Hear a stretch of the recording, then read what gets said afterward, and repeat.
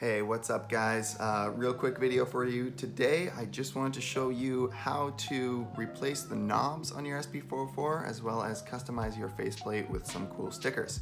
Um, this is really, really easy to do, but if you don't know how, hopefully you find this helpful. And I've been asked to do this tutorial before, so obviously some of you don't know how. Um, so yeah, hope this is helpful. Um, but let's get started with the faceplate. So all you're gonna need is you're gonna need some Allen keys, you're gonna need an X-Acto knife, you're gonna need your stickers, and uh, that's about it. Um, so take your Allen key here and on each corner of the faceplate there are four screws. You just take those off. I already have them just kind of hand tight right now so that they come off real quick for the video. Nothing to offer. And once you do that, the whole faceplate just comes clean off like that. Really nice how they did that. Super easy. You toss your 404 to the side. And uh, at this point, you just wanna start messing around with where you wanna place your stickers. Obviously mine is already all stickered up, so I'm just gonna toss this sticker from Analog Cases on somewhere.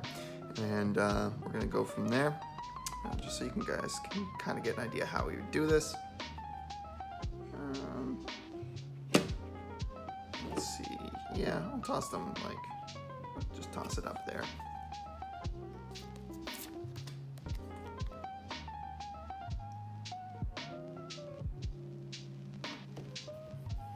So you want to bear in mind when you're putting these stickers on where the holes are going to be, especially when you're putting them down here.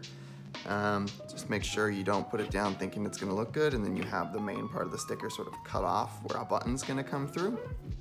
So just bear that in mind when you're stickering it up.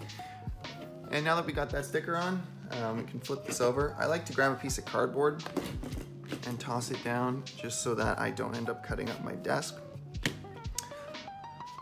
And now you can see what parts of the sticker you're gonna need to cut out so that the knobs and the buttons are, are, can all poke through. Grab your X-Acto knife and just carefully cut those portions out.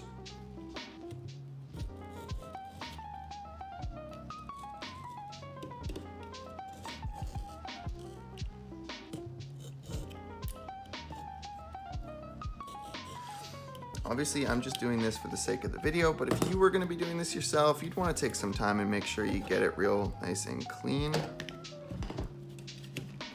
Just trying to rush through it so that you guys can have an idea what you would do yourself.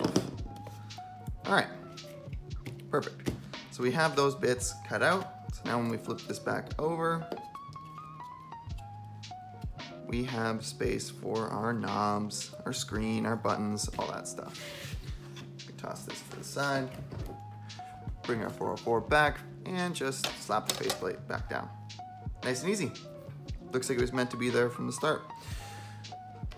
So then we would obviously put our screws back in, and then we are good to go.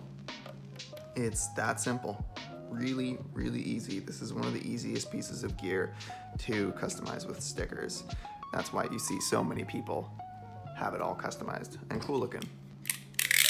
So the next thing is the knobs. The knobs are even easier. You literally just pull them directly off the unit.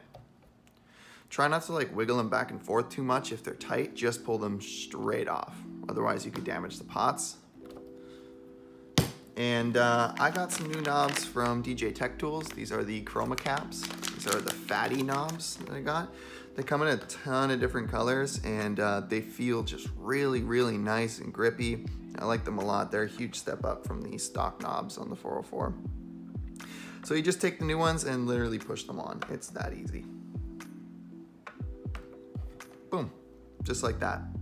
And yeah, these knobs feel really, really good. I really like them. They're a huge step up. The colors are cool, all that fun stuff. Um, I'm not sponsored by them in any way. I just think that they're a great company that makes some really cool knobs for all kinds of gear, not just the 404. But yeah, that's that. So once you're all done, now you got a cool looking 404.